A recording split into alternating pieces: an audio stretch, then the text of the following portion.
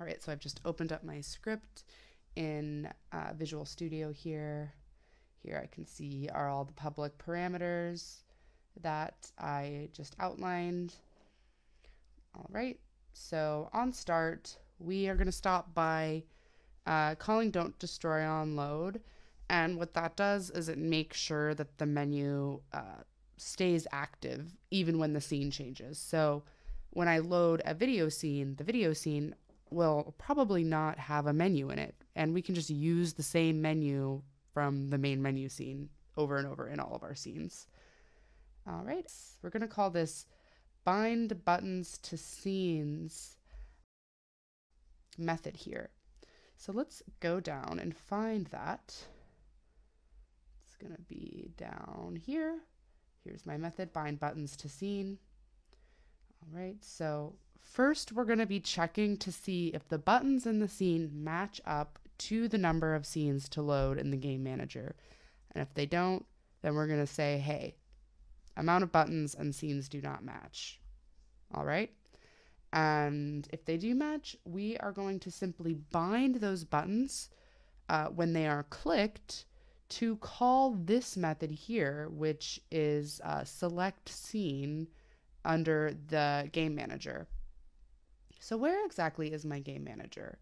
It is under my video manager game object here. And my game manager object has a couple parameters that are very important as well. We have a scenes to load array, and this is going to be of the same size as our buttons to load array in the menu manager. So we have three scenes to load here. Element zero is 3D home interior. That's going to match up to this button house. 2D lookout is going to match up to this button Mont Royal. And 3D waterfront is going to match up to this button waterfront. And then we have some other UI settings here. So we have a checkbox check to use fade. And that means that when the scenes are loading, we're going to be fading in and out between the scenes. And since I have that use fade box checked, I need to define what is the fade image that's covering up the menu and what is the control UI, meaning the UI that we want to be covered and then or the UI that we just kind of want to turn off in between scenes. And then the loading UI is um, the loading text, and that will become active in between the scenes. So let's open up the game manager script.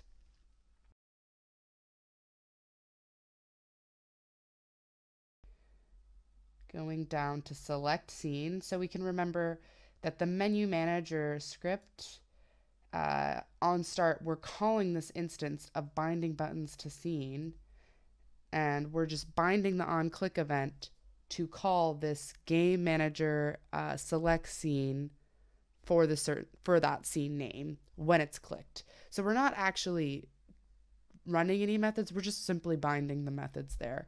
And then when we do get a click event on one of the buttons, we can call this select scene method under the game manager here. And here it is. And this select scene method just takes in a string of what scene to load. And here we're checking to see if we're going to use that fading. And if we are going to use the fading, we're going to need to start the coroutine called fade out and in. And we need to use a coroutine because we're going to be using yield a lot to wait for things to load and animations to finish and whatnot before we um, start the next scene.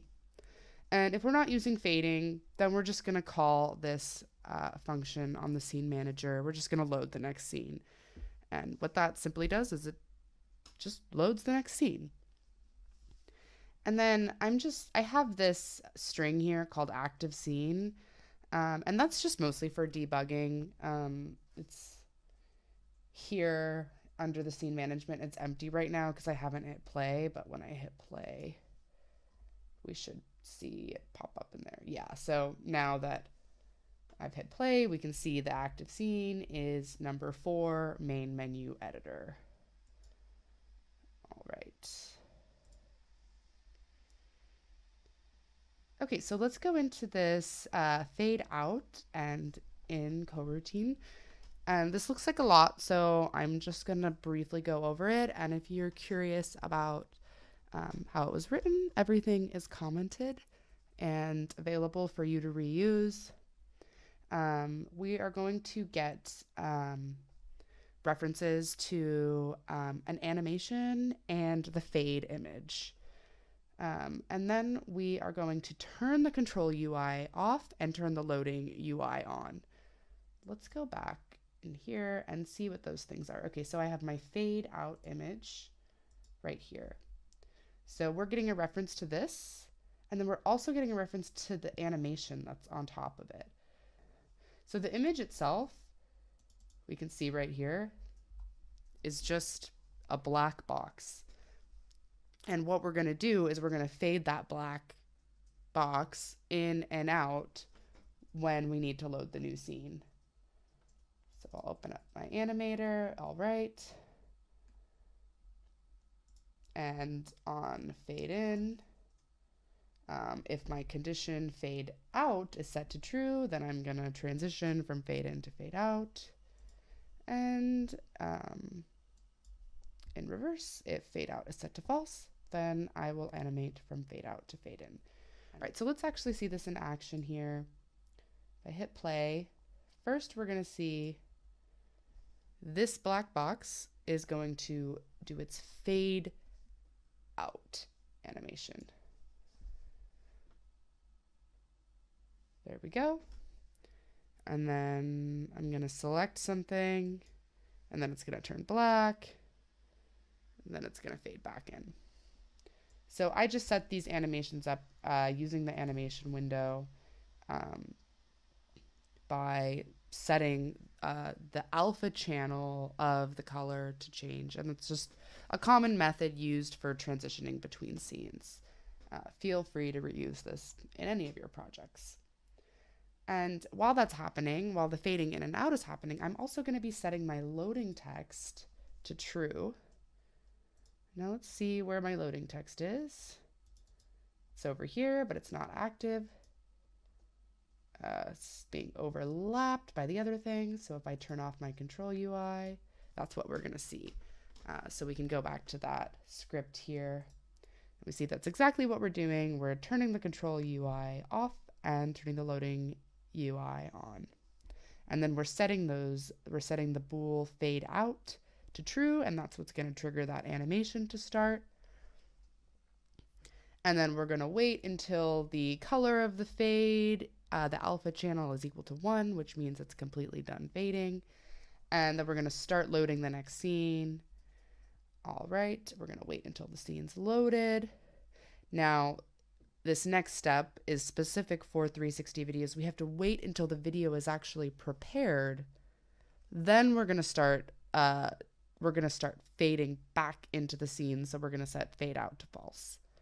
Um, and once that's done, once the alpha uh, channel of the fade image color is back to zero, then we will set the loading UI, which is just that loading text that says loading dot dot dot to false. And we'll turn our control UI back on and our new scene is active. Um, so that was a lot, but this code doesn't just apply to uh, 360 videos, you can use this to do any type of loading between any scenes. All right, so I'm going to check this box to turn my control UI back on, my loading text back off like it should be. All right, and now let's go back to our video manager here. Okay, and let's just see it in action. I'm going to hit play. gonna select uh, Mont Royal. We'll see that the active scene changes to 2D lookout. Okay. Gonna select house. Active scene changes to 3D home interior. All right, it seems to be working pretty well. Now I'm gonna go ahead and add another scene to my scenes to load. Let's add that scene that we created uh, what was it called? New video scene. Wow, that's a very original name. Um, I'm going to go ahead. Actually, these are just strings here. I'm not going to drag the scene there. I'm just going to copy the name of the scene, which is new video scene. There we go. And let's hit play and see what happens.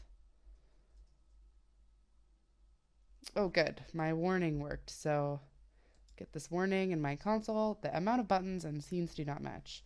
Yes, I'm trying to load more scenes than I have buttons for, so that's not going to work. So let's create a new button.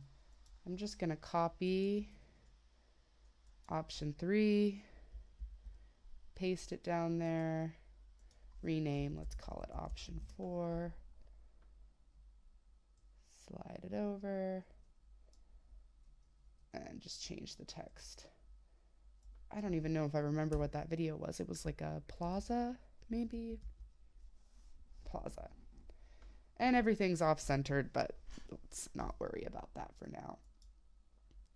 All right, so this option four has all of the same button functionality um, as my option three because I just copied and pasted it. Now I'm going to go back to my main menu manager script and now I need to update this as well. So I want to have four um, buttons in my scene and these four buttons are going to be bound to uh, the four scenes to load when they're clicked. And here I want to update this element 3 section to show my new option. All right, so let's try to load that new one now.